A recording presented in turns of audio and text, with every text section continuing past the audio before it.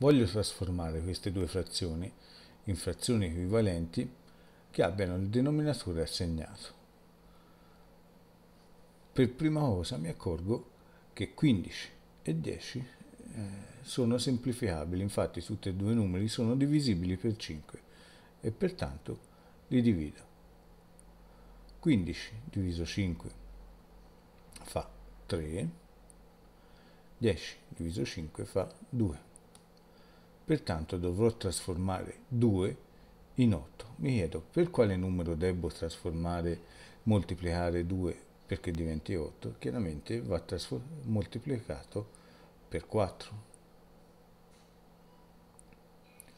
Pertanto anche il 3 andrà moltiplicato per 4. E 3 per 4 fa 12, pertanto la frazione equivalente a 15 decimi è 12 ottavi. Passo alla seconda. 22 44 mi accorgo che 22 e 44 sono multipli di 11 e pertanto li posso semplificare. 22 diviso 11 fa 2, 44 diviso 11 fa 4. Mi chiedo, per quanto va moltiplicato 4 per diventare 16? Chiaramente va moltiplicato per 4.